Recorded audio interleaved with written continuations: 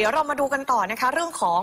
การท่องเที่ยว ตอนนี้ค่ะรัฐบาลก็มีการเร่งที่จะปราบเกี่ยวกับเรื่องของนอมินีการท่องเที่ยวนะคะ หลังจากที่มีการร้องเรียนนะคะ ถึงพฤติกรรมของชาวต่างชาติ ที่เข้ามามีบทบาทในการครอบงำเกินกว่าที่กฎหมายกำหนด การประกอบธุรกิจของต่างด้าวในปี 2542 ในบัญชีแนบท้ายมา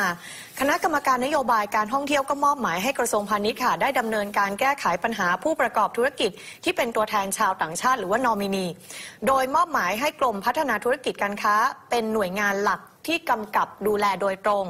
โดยทางด้านคุณอภิรดีตันตราพรรัฐมนตรีช่วยว่าการกระทรวงพาณิชย์ก็บอกนะคะว่า กรอบความร่วมมือมีด้วยกันทั้งหมดที่เขาจัดไว้ก็คือ 4 ด้าน ในส่วนของกรมพัฒนาธุรกิจด้านการค้าต่างๆ จะให้ความสัมพันธ์กับเรื่องของใบอนุญาตในการให้การประกอบธุรกิจการท่องเที่ยว จากกรมการท่องเที่ยวก่อนจดทะเบียน อันนี้จะเป็นเรื่องของการจดทะเบียนแล้วก็ใบครับอนุญาต ส่วนเรื่องของการสนับสนุนการเชื่อมโยง แลกเปลี่ยนข้อมูล อันนี้เขาก็จะมีเรื่องของกรอบที่เป็นความร่วมมือกันด้วยนะคะ รวมถึงการให้ข้อมูลการจดทะเบียน ข้อมูลผู้ถือหุ้น รวมถึงข้อมูลของผู้ประกอบธุรกิจที่มีพฤติกรรม ลักษณะที่เป็นนอมินี เพื่อให้แต่ละหน่วยงานเนี่ยได้ใช้เป็นฐานข้อมูลในการตรวจสอบและการดำเนินงาน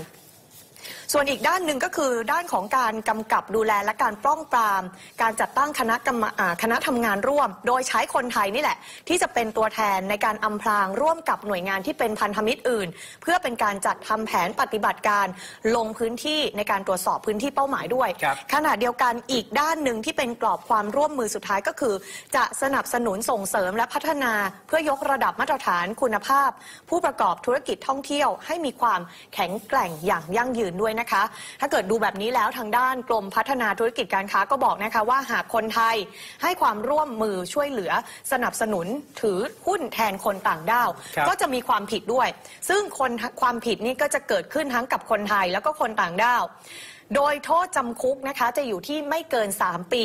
หรือว่าปรับตั้งแต่ 1 0 0 0 0แสนไปจนถึง 1 ล้านบาท หรือว่าเป็นทั้งจำทั้งปรับเลย แล้วก็ยังมีโทษปรับรายวันอีกนะ ก็คืออีกวันละ 10,000 บาท อันนี้ก็ทางกรมพัฒนาธุรกิจการค้าเขาก็บอกมานะคะว่าครับไม่ใช่ว่าไม่ผิดนะ ไปถือ